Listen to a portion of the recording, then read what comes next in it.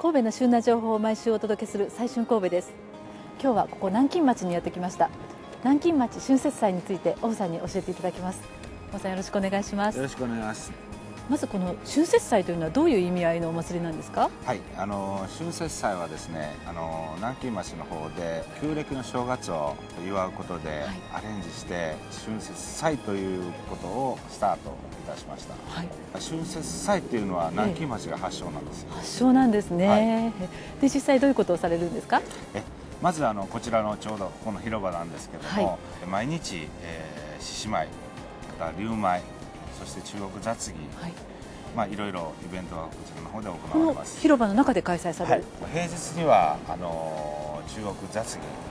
および弁連が、はい、あの開催されます。で週末にはあのご存知の通り獅子舞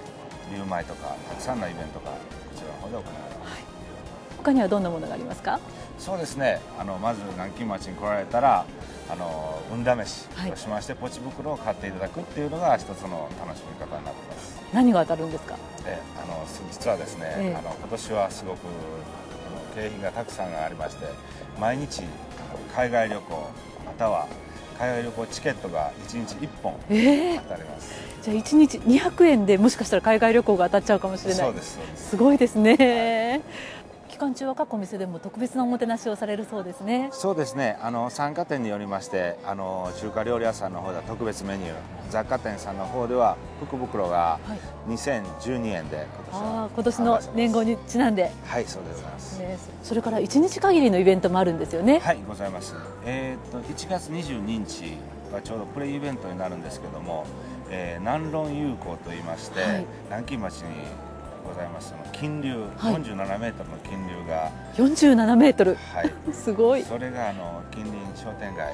にパレード行きます、はい、大丸、はい、北側道路なんですけど、はい、そちらの方で道路を封鎖しまして、えー、えー、その金龍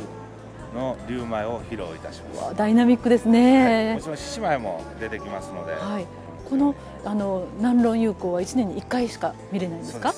あの金龍が登場するのは1年に1回なんです他には何かありますか？23日。がちょうど、あの旧暦でいう元旦の日でございます、えー、で南京町春節祭のスタートの日になります、はい、中国詩人友好、うん、あの三国志およびあの狂劇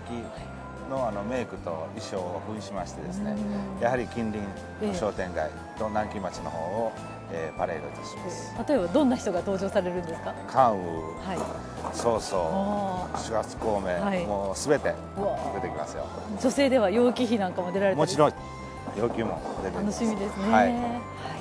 このあの春節祭南京町の皆さんはどんな思いで毎年開催されてるんですか、そうですねあの春節祭は私たちにとってやはり年に一度のビッグイベントでございまして一人でもたくさんの人があの神戸に来ていただいて楽しんで帰っていただく思いで毎年頑張っております。ね、ぜひたくさんの方に来ていただきたいですね。はい、ありがとうございました。来週は神戸セレクションの話題をお届けします。お楽しみに。